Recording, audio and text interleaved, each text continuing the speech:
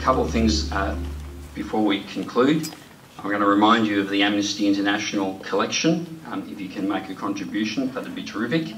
Um, and it may be that someone would like to uh, um, put forward a motion uh, that we can pass on to um, the Prime Minister. Uh, this is not a Dorothy Dixer, um, so if someone can succinctly, Lizzie O'Shea, per perfect person. Um, yes, you can.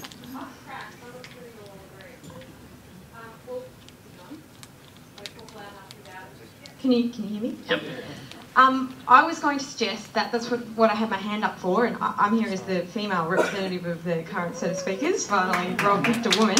Um, no, that's all. Uh, but what I was going to say was, um, I would have, I would like to call. Perhaps it can be a, a, me, a, motion of the meeting, or I'm going to call on the Law Institute, put them on the spot, to see whether they would publicly um, condemn any call for Julian Assange's extradition back to the US, because I think there's no guarantee of him having a fair trial if that occurs. And I would also call, because I think it is an issue of freedom of the press, to say that any criminalisation of WikiLeaks is a direct attack on the Fourth Estate and uh, an undermining of the principles of a free press. And those are the two things. I mean, I you might not agree with my wording, and forgive me, Your Honour, but I'm doing my best under the circumstances. Um, but those are the two principles that I think are important that have come out of the meeting, and I would suggest that as a motion. Uh, we'll take it um, in, um, in the spirit in which it's said, and it'll be drafted um, and settled by Julian later on. Um, but uh, um, those in favour of that motion? Thank you. The ayes have it. Um, no uh, kidding. Rob, before you go on, can I just mention one thing that ought to make everyone enthusiastic and keep their uh, keep, keep them going? Um, when Lizzie and Jeff Sparrow uh, prepared that open letter that was published on the drum on the ABC website, Within hours of it going up, there were more than 3,500 comments, overwhelmingly in favour.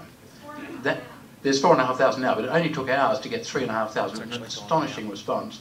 I think the public of Australia is with us on this, and I think we all ought to harness that and make sure that the government understands that they are overwhelmingly in the minority. We disapprove of what they're doing. Um,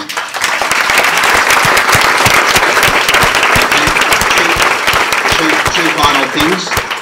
On Friday, um, there is an International Human Rights Day, which will include a Defend WikiLeaks Day, 4.30 outside of the State Library. All of those activists who are aware of the, um, the usual location, please be there. Um, it will be an opportunity, really, for us to express our disquiet as to what's happening. Um, and uh, those people who put their names on the um, registration, uh, the registration um, uh, information will not be distributed beyond uh, the Law Institute. And although your photographs may be taken down for face recognition purposes later on, um, if you're interested, please uh, nominate and thank you everyone for coming.